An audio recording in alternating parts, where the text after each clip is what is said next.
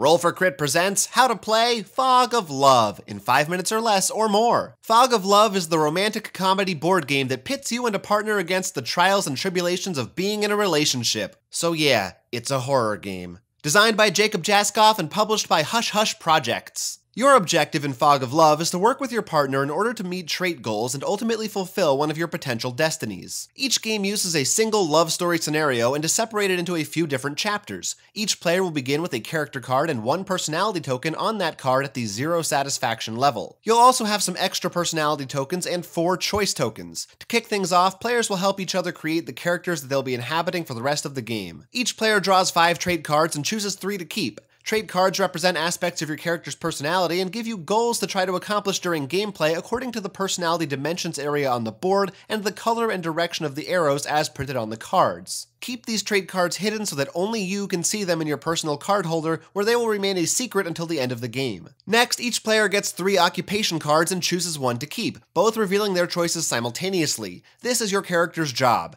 Now each player draws five feature cards. This time you'll be choosing features for your partner, not yourself. Take turns assigning one of your feature cards to your partner until each of you have three. These represent aspects of your partner's appearance or personality that you first noticed about them. After finishing with trait, occupation, and feature cards, any cards that were not chosen are placed face down at the bottom of their respective decks. Now let's talk about personality dimensions and what these colored arrows on your cards actually mean. Each personality dimension on the board relates to a potential aspect of your character. Each is represented by a color and a symbol and separated into two opposite directions, an up arrow and a down arrow. Throughout the game, you'll be placing your own personality tokens onto these dimensions according to cards you play and choices you make. To start off, you'll do this according to each of your features and your occupation. So if your occupation shows an orange arrow pointing up, place a token on the orange extroversion dimension on the upper arrow to indicate that your character is more outgoing. Repeat this process for your three features according to whatever their symbols are as well. Your trait goals will show you multiple arrows of the same color, all pointing in one direction. This means that by the end of the game, you need to achieve that level of balance on that dimension in order to complete that goal. Your total balance in any given dimension is calculated by the tokens you have on either direction. So if you have an individual goal showing three green arrows pointing up,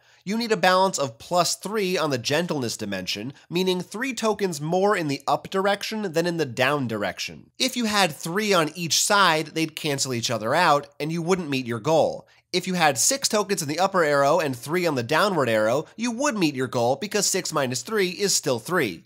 Do math. Some trait goals are shared rather than individual, which means that it's not just you you have to worry about, you have to calculate the required balance using the combined tokens of yourself and your partner in order to complete it. At the end of the game, for each trait goal you complete, you'll earn some satisfaction points, but you'll lose points if you're unable to complete them. Keep this in mind when choosing traits, features, and occupations at the start. You probably don't want to keep conflicting cards, especially two goals of the same color going in opposite directions. You can keep two goals of the same color going in the same direction, but for the second card you choose, you'll need to double its printed requirements in order to complete it. Once characters are established, players can make up names, decide how their characters met, and finally start the game, drawing five scene cards apiece. There are three different types of scene cards sweet, serious, and drama. The love story card in play will tell you which to draw at the start of the game, along with any other special rules. The first card played will be the Chapter 1 card. Follow its instructions, then players take turns back and forth. You'll also each have a hand of identical Destiny cards, which we'll get to later. On your turn, you will choose one of the scene cards in your hand and play it face up onto the table so that it overlaps the previously played card with the bottom still showing. Scenes will present a situation in your relationship that you need to navigate. Depending on what type of scene card it is, various effects could follow. Most commonly, one or both players will be required to make a choice.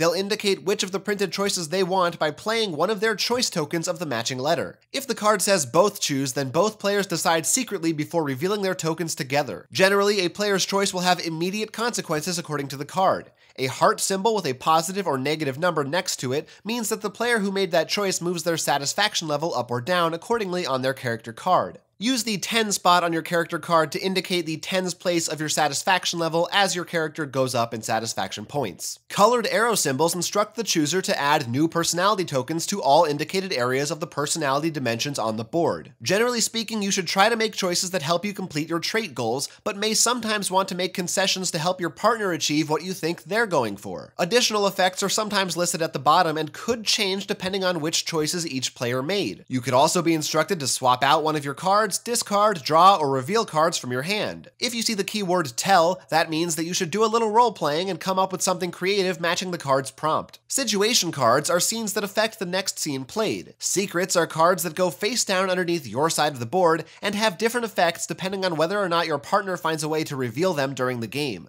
Reactions are cards that can be played out of turn depending on specific conditions. Minor scenes are actions that occur immediately and are then discarded. You can also choose to discard and replace minor scenes with new scenes at the start of your turn if you don't want them. Some scenarios will also include special event cards which will tell you to bring special events into play tied into that specific story. Once a scene has been resolved according to its instructions, draw back up to 5 cards. During any given chapter, you can only draw card types allowed by that chapter unless otherwise instructed. Players continue taking turns playing and resolving scenes until a number of scenes has been played that is equal to the number of the current chapter. This number only includes face-up scenes on the board, not secrets. Once the number is reached, all played cards are discarded and a new chapter begins in the same way. Once all the chapters are completed, the finale card appears, at which time trait goals are revealed and assessed, any leftover secrets are revealed and resolved, and each player chooses a final destiny card. Oh yeah, your destiny cards. Each destiny represents an end game goal, sort of like your trait goals, but more meaningful and more difficult to achieve, often involving personality dimensions as well as satisfaction levels. As the game goes on, various cards may instruct you to discard destiny cards, reveal destiny cards to your partner, or swap in destiny cards from your destiny discard pile. You can never have fewer than two Destiny cards in hand.